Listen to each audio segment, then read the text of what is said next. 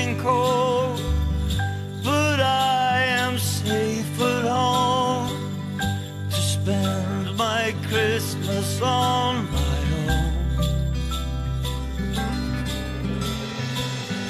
Can't put myself at ease in time for Christmas Eve.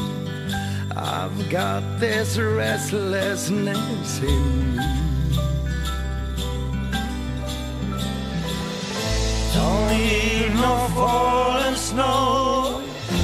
alive.